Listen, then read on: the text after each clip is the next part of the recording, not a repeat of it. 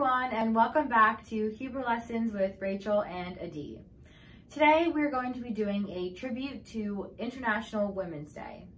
Once again, I will be saying the words in English and then Adi will be repeating them in Hebrew. Let's begin. Girl power. Koach nashi. Gender equality. Shivyon migdari. Women empowerment.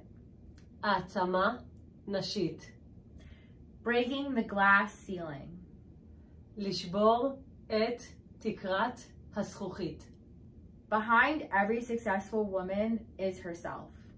מאחורי כל אישה מצליחה עומדת היא עצמה. All right, that's all we have for today. Thank you for watching and stay tuned for next week. Bye.